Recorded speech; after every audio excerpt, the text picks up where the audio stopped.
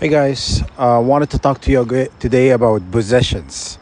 Possession is often uh, basically uh, explained is done by jinn or entities and lower vibration vibration entities and stuff or demonic.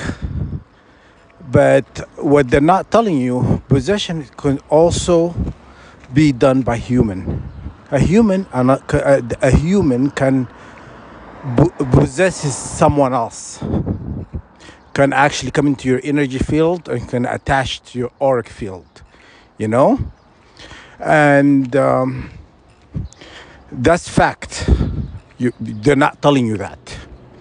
Uh, anyhow so what you do is uh, you call the source of all creation to strike.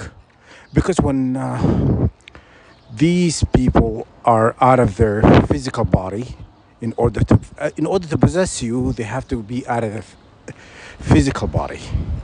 Basically when you're when you astral travel you part of your soul leaves your body right?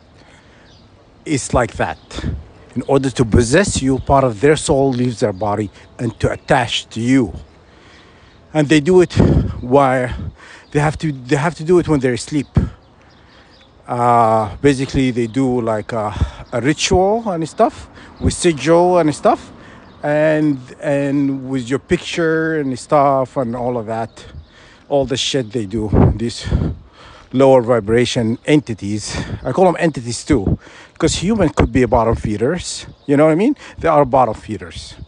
Someone who possesses someone else is our bottom feeders. That's how you treat them Anyhow, to get that back to the point, when they possess you, you call the source of all creation, and you attack them in the heart chakra, you attack them in the brain, you attack them, you attack them everywhere. You know what I'm saying? And by sending like arrows, arrows, knives, swords, you know, to strike them dead with divine light, divine energy.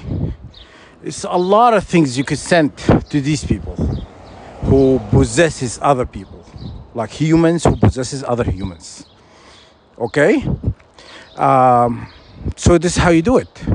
Uh, you could do the same thing to entities and stuff. When you hurt an entity, you're hurting the witch who cast the spell. So you have to understand that as well. Okay? When you hurt an entity that is possessing you, uh, you hurt actually the witch who who did the ritual or cast a spell on you, okay? To possess you. So you need to understand and understand what how how they do it. These wicked wicked bottom feeders, okay? So anyhow, let me know. Do your research and let me know if this helps, okay? And also, um, yeah, you can share with me uh, anything in the comment section what you have found and what you have done to help so you can share it with others as well, other target individuals. All right? Um, yeah, so uh, I just wanted to kind of share with you uh, what I've found out. All right, bye bye.